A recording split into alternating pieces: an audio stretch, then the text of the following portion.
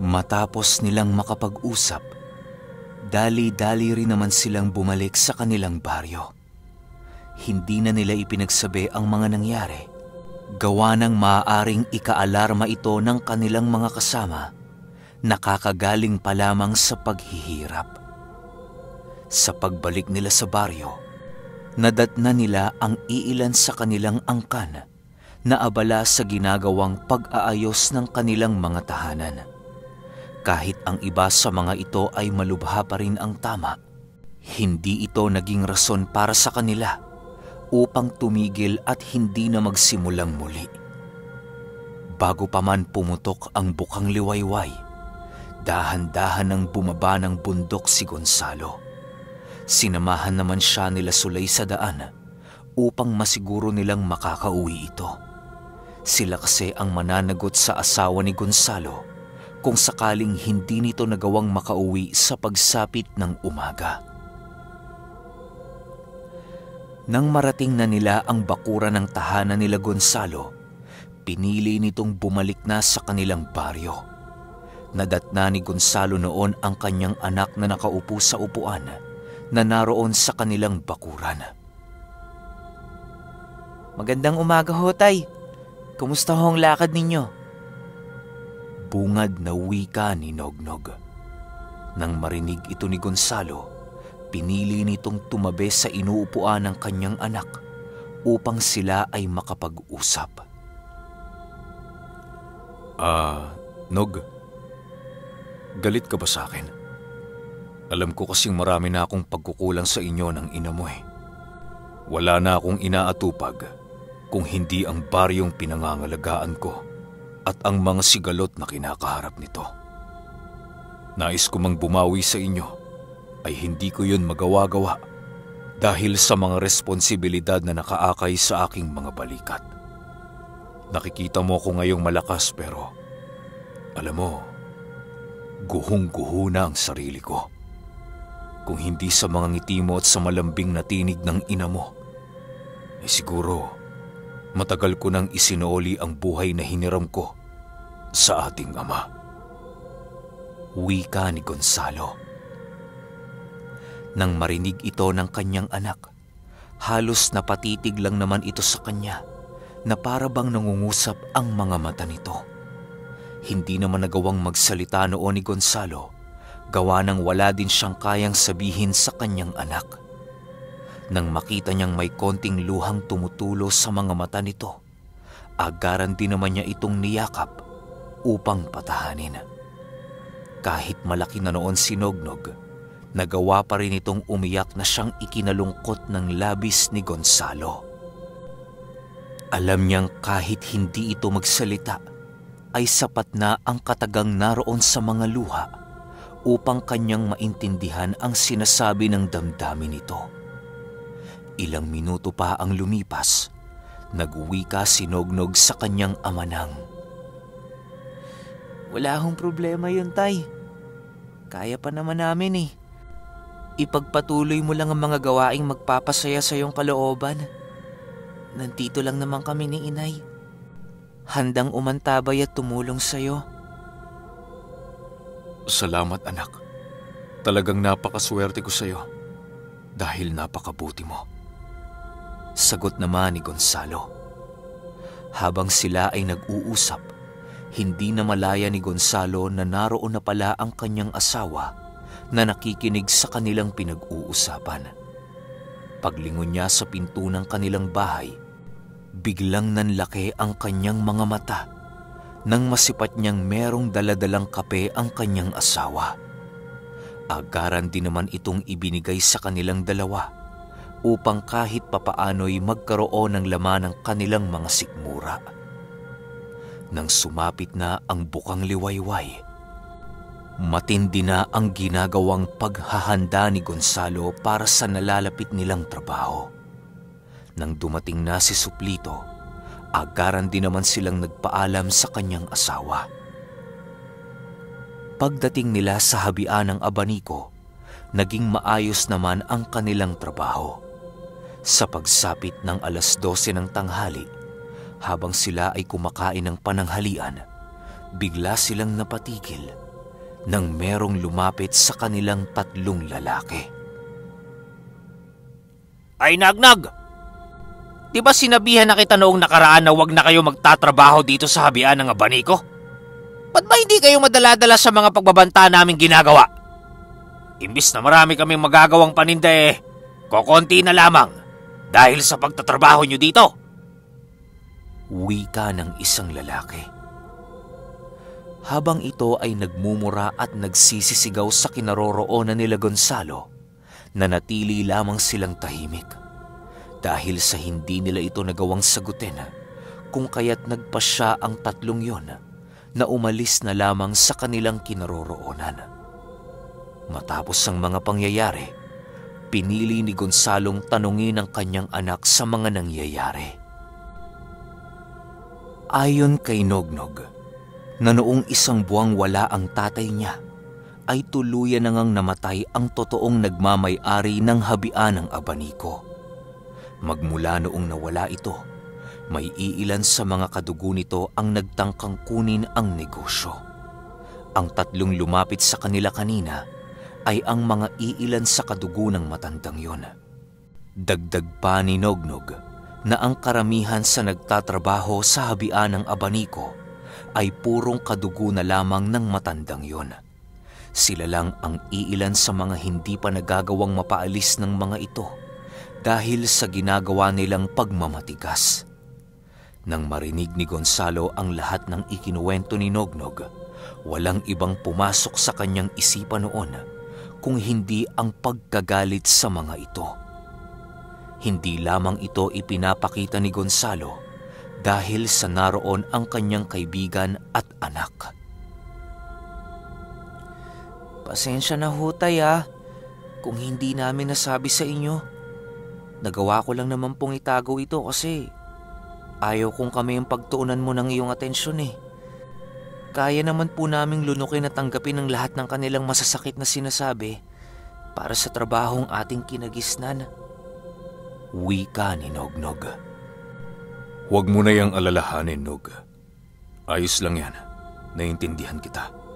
Pero hindi po pwede sa aking bastusin at lait-laitin ka habang ako ay malakas pa. Kagaya ng mga kasama ko sa baryo, Ipagtatanggol kita kahit na anong mangyari. Sagot naman ni Gonzalo.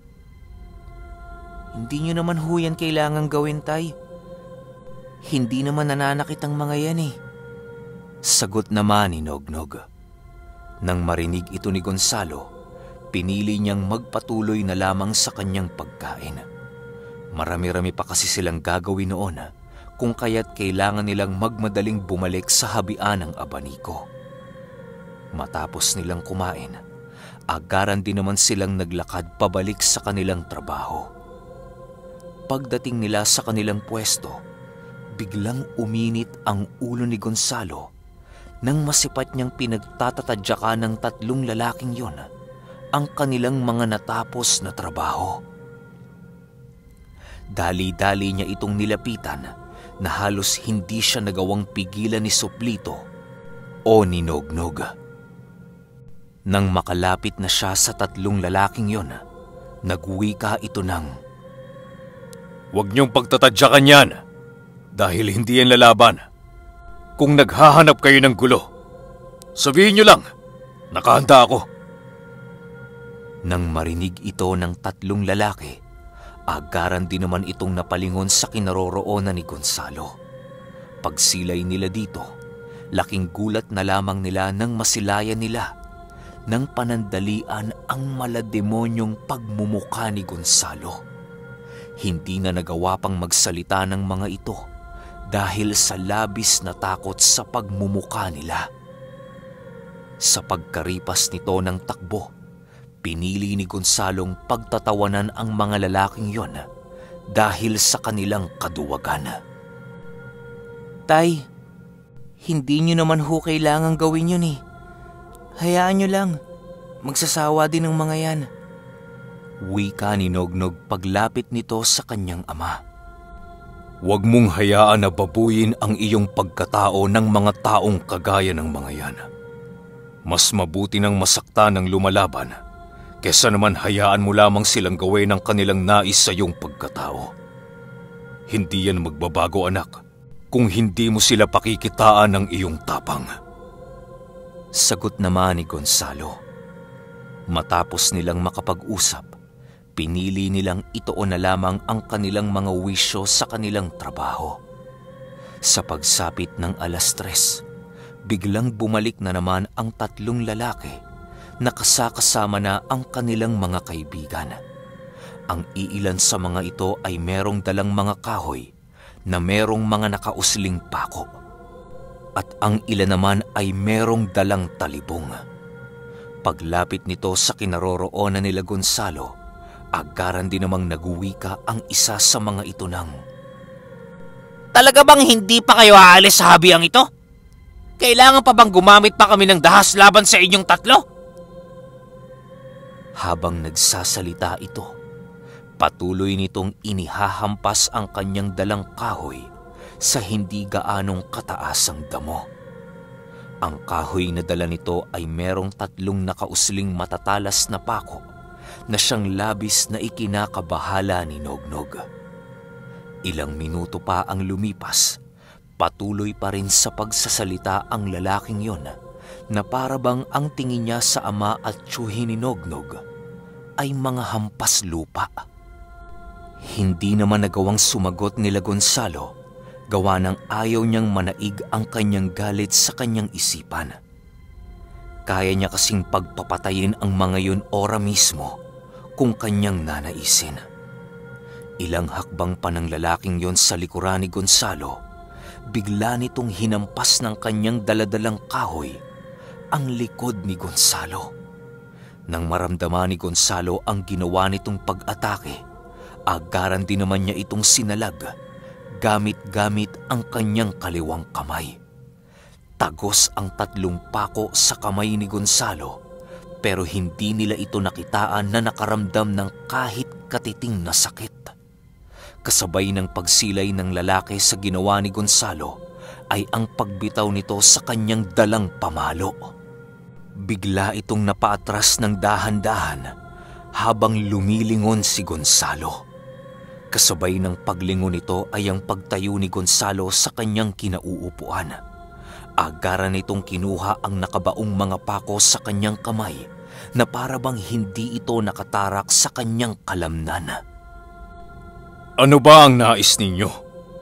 Gulo? Digmaan? O maayos na pag-uusap? Hindi lahat ng bagay ay nadadala sa dahas mga ginoo. Huwag niyo naman sanang babuyin ang pamilya ko sa mismong harap ko. Pasalamat kayo dahil pinahihintulutan ko pa kayong tumayo dyan sa inyong mga kinaroroonan na hindi natatapyas ang ulo. Huwag niyo na akong subukan dahil iba kong kaaway. Wika dito ni Gonzalo. Eh, ano naman ang pakialam namin sa iyo, Tatang? At sino ka ba? Para pagsalitaan mo kami ng ganyan. Isa ka lamang ditong walang kwentang trabahador. Kung kaya't huwag kang mag-astang mataas at matapang. Sagot naman ng isang lalaki. Kasabay ng pagwika ng lalaking yon ay ang pagkulay itim ng mga mata ni Gonzalo. Bigla ding umusli ang matatalas nitong pangil sa kanyang mga labi na siyang labis na ikinagulat ng lahat ng mga naroon. Hindi pa ito gaanong napansin ng mga kalalakihang kanilang kalaban kung kaya't hindi nito nagawang makaalis sa kanilang kinaroroonan. Nang masipat nilang nagagalit na noon si Gonzalo, agaran din namang sumugod ang mga ito. Daladala ang kanilang mga talibong. Walang pagdadalawang isip na lumapit ang mga ito kay Gonzalo upang patayin ito. Nang masipat ni Gonzalong papalapit na ang mga ito, Pinili nitong tumayo lamang sa kanyang kinaroroonan upang salubungin ang pag-atake ng mga ito. Nang makalapit na ang mga kalalakihan kay Gonzalo, walang habas siya nitong inundaya ng saksak at pinaghampas ng mga matatalas na talibong. Matapos nilang gawin yon, agad din namang bumalik ang mga ito sa kanilang kinaroroonan Walang nagtangkang umawat noon gawa ng masyadong mataas na ang tensyon sa buong paligid. Ang buong akala ng mga ito ay tuluyan ng napatay nila si Gonzalo pero biglang nag-iba ang simoy ng hangin. Nang masipat nilang ngumisi ito kahit duguan na ang buong katawan. May isa pang talibong na nakabaon sa balikat nito kung kaya't napaka-imposible na talagang mabuhay si Gonzalo. Salamat sa inyong sagot mga ginoo. Pinili ninyo ang digmaan kung kaya't maghanda kayo sa nais ninyo. Ito ang pinili ninyo at hindi na ito maaari pang bawiin. Wika ni Gonzalo. Sa sobrang lumanay ng boses noon ni Gonzalo, halos hindi maramdaman nila Nognog ang labis na tama nito sa kanyang buong katawan. Si Nognog noon ay nagsisisigaw na gawa ng maging ito ay inaakalang patay na ang kanyang ama. Pagbunot ni Gonzalo ng talibong sa kanyang balikat, biglang umagos ang napakaraming dugo na nanggagaling sa katawan nito. Pero laking gulat na lamang ng mga lalaking yon nang masipat nila ang pagngisi ni Gonzalo. Nakatitig ito sa kanila ng masama habang nakangisi na parabang nakakaloko. Ilang minuto pa ang lumipas, binitawan na ni Gonzalo ang talibong at naglakad pabalik sa kinaroroonan nila Nognog. Bago pa man ito tuluyang tumalikod sa mga lalaki, bumitaw ng senyas itong si Gonzalong bilang babala sa mga ito sa pagsapit ng takip silim. Matapos niya itong gawin, Pinili nila Suplito at Nognog na alalayan si Gonzalo. Iniwanan din nila ang kanilang mga nagawang abaniko dahil sa pag-alalay nila. Habang sila ay naglalakad pa uwi, panay ang pag-usap ni Nognog sa kanyang ama upang hindi ito panghinaan ng loob. Tay, malapit na ho tayo sa bahay. Konting tiis na lang ho. Makakarating na rin tayo. Natatarantang wika ni Nognog. Di mo naman kasi dapat ginawa yun, Gonzalo eh. Pwede naman tayong umiwas sa gulo. Dagdag pa ni Suplito. Huwag niyo akong alalahanin. Ayos lang ako. Ang dapat na alalahanin ninyo ay ang mga lalaking yon. Hindi ko palalagpasin ang gabing ito na hindi sila natatapyasan ng mga ulo. Sagot naman ni Gonzalo. Pagdating nila sa kanilang tahanan, imbis na humiga noon si Gonzalo, pinili nitong kunin ang kanyang langis na itinago upang ipahid sa kanyang mga sugat. Matapos niya itong gawin, agaran din naman itong lumabas sa kanyang tahanan upang tawagin sila sulay. Nang magawa na ito ni Gonzalo, pinili niyang umupo na lamang sa kanilang bakuran upang pagmasdan ang paglubog ng araw. Ang ginagawa naman noon nila Nognog, panay ang pagkumbinse kay Gonzalo upang hindi na nito ituloy ang kanyang binabalak. Pero kahit anong gawin nilang pagkumbinsi dito, alam nilang hindi nila kayang pigilan ang mga desisyon nito. Si Gonzalo kasi ang uri ng taong hindi tumatalikod sa kanyang mga nais kapag ito ay kanyang napagdesisyonan. Sa pagsapit ng alas 6 ng gabi, naroon na sila sulay, naghihintay sa kanilang pinuno. Nang masipat ni Gonzalong naroon na ang kanyang mga kaibigan, agaran din naman itong nagpaalam sa kanyang mag-ina. Kitang-kita pa noon ni Nognog ang paglakad ng kanyang ama sa dilim habang kasakasama ang dalawang pinagkakatiwalaan niya. Ilang minuto pa ang lumipas, tuluyan na ngang nawala ang mga ito sa paningin ni Nognog.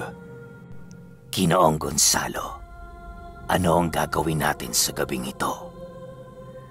Tanong ni Sulay. Papatay tayo ng tao, Sulay Maganda kayo. Dahil muli tayong mapapasabak sa digmaan. Mga demonyo ang mga taong kikitilan natin ng buhay kung kaya't gawin nyo ang lahat ng inyong nais upang parusahan ang mga ito. Sagot naman ni Gonzalo. Kasabay ng pag-uwi ka nito ay ang pagbalik nila sa habian ng abaniko upang magmasid. Hindi pa kasi noon alam ni Gonzalo ang pamamahay ng mga ito, kung kaya't nais niyang amuyin ang hangin sa habian ng abaniko upang malaman ang kinaroroonan ng mga lalaking nanakit sa kanya. Sa paglalim ng gabi, matagumpay namang nahanap ni Gonzalo ang kinaroroonan ng mga ito. Nang marating na nila Gonzalo ang pamamahay ng mga ito, pinili niyang unahin munang patayin ang lalaking tumagas sa kanya ng talibong. Labis kasing nanggigigil doon si Gonzalo dahil sa ginawa nito sa kanya noong nasa habian sila. Yun din ang lalaking nagmamaliit sa kanyang anak kung kaya't naging mas matindi ang nararamdamang galit doon ni Gonzalo. Nang masilayan nilang nakasarado na ang lahat ng bintana at pinto sa pamamahay, Pinili nila Gonzalong mag-utos ng itim na engkanto. Ang gagawin ng engkantong uutusan ni Gonzalo ay papasok ito sa natutulog na katawan ng lalaki upang sapilitang palabasin sa kanilang tahanan. Yun lang ang nais patayin ni Gonzalo kung kaya't iniiwasan niyang makadamay ng ilang inosenteng tao. Sa pagtawag ni Gonzalo sa engkantong kanyang uutusan, Agaran din naman itong dininig ang nais ni Gonzalo. Ilang minuto lamang ang lumipas, nagawa na ngang isa katuparan ng engkanto ang nais ni Gonzalo. Paglabas ng lalaking yon sa kanilang tahanan, agaran din itong lumapit sa kanilang kinaroroonan. Bigla din namang nagpalit ng anyo noon si Gonzalo upang makita nito kung sino ang taong kikitil sa kanyang buhay.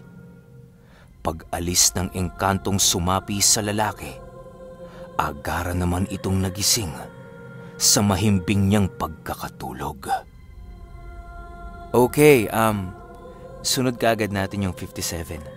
Salamat.